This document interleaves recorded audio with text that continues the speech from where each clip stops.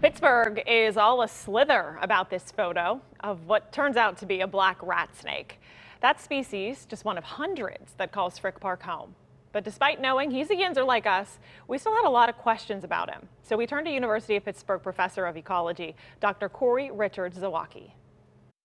Where were you? I'm sure you remember when you heard about the Frick Park snake. I heard about the Frick Park snake on Facebook yesterday because I live down the street from another ecologist. It's rare that there's two ecologists on the same street, and we're sort of like vying for who's who's the real street ecologist. And so, um, yeah, so I heard about it from from my fellow ecologist on the block. That's funny. You guys are duking it out. Yeah. What did you think when you saw the pictures? As someone who is relatively familiar with um, the reptiles and amphibians of the area. I didn't think much of it because I knew that this snake was around. It's the biggest snake in Pennsylvania, um, but it's not uncommon. Um, it is kind of strange to see one up in a tree. Like they, I mean, they are arboreal, but like it's just, we don't often see snakes up in trees. So it's a little different, right? Funny to think that you saw that and you thought, duh, obviously. And everyone else in Pittsburgh thought, hold up, cancel the, go back to bed. How did it get so large?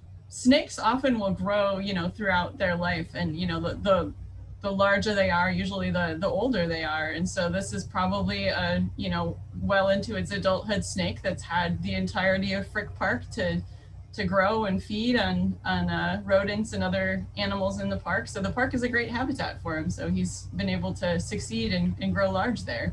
That makes me think of what else is in Frick Park. Who There else are lives? a lot of things in Frick Park. Yeah, I was I was actually doing a little homework on Frick Park before our conversation, and I looked in um, the iNaturalist for Frick Park, and there's over 400 species of of organisms that have been found in Frick Park. So this includes anything from plants to animals, and you know fungi and micro uh, insects and things like that. So there's a huge diversity of species in Frick Park. Were there any other animals that surprised you to see in Frick Park?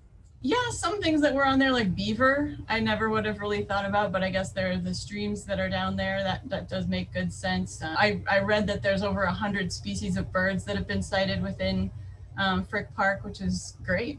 What do people, in your opinion, need to know when it comes with being respectful and interacting with the wildlife, or maybe not interacting with the wildlife?